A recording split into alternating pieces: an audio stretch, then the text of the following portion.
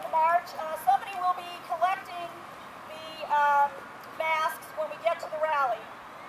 Um, masks and mortars, you're going to be, it's going to be a silent, solemn march because, of course, we're paying homage to all those lost in the wars.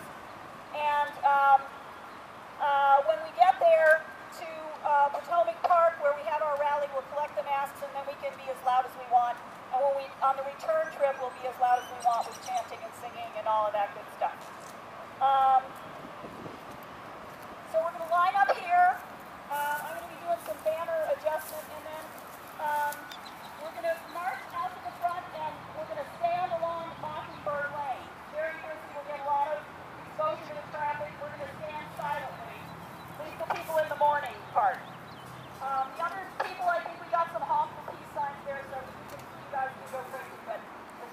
our, our death march, we're going to be silent and, and solemn. Uh, then we're going to march slowly across the bridge. Michael's going to beat the drum very slowly as we our procession goes across Mockingbird Bridge. And then we're going to go to the other side of Mockingbird and demonstrate in front of uh, the, the uh, strip mall there that is adjacent to the property where SMU is and the Bush Center. Uh, one thing I want to say, and I say this every time, but no one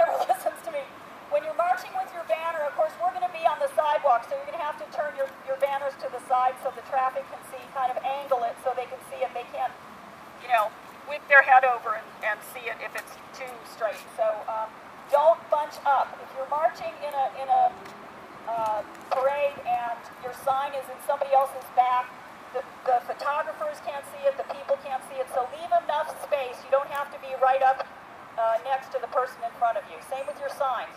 Show them to the public, not to the back of the person in front of you. I know we all love to be together and it's all friendly and everything, but um, please be careful. There's a lot of traffic out there. Do not get near the edge of the curb. Pretty please. It freaks me out. Um, okay, I think that's everything. Does anybody have any questions? Connie's going to say a couple words.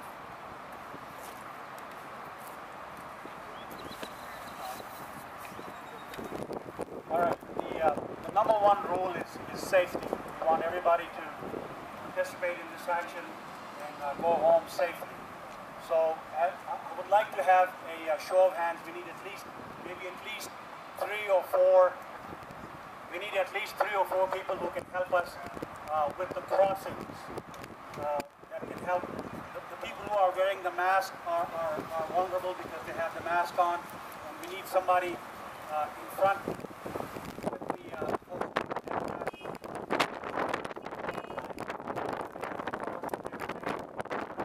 show of hands, three or four people who can help us cross Mockingbird and then go across Mockingbird Bridge again. Any volunteers? Okay, Stephen. I need a couple more. Couple more.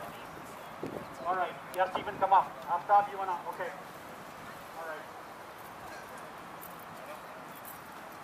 All right, so uh, please uh, obey all traffic laws as you would normally behave. Uh, also keep in mind that this is a non-violent protest. I want to reiterate, this is a non-violent protest.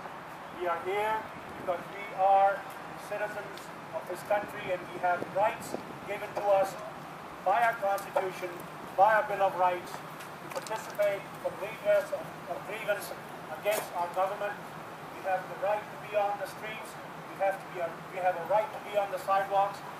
Police has taken an oath protect and preserve the Constitution of the United States. And we have asked them that we will hold them responsible for making sure that our First Amendment right, freedom of expression, is preserved and protected. And they have agreed to do so. The police is here for our protection and to make sure that our constitutional rights are not taken away from us. So please be careful today. Let's make uh, let's make a point about why we're here today, and uh, everybody go home safely. So, Leslie. Uh, are there any questions from, anybody? Everybody's good? Okay.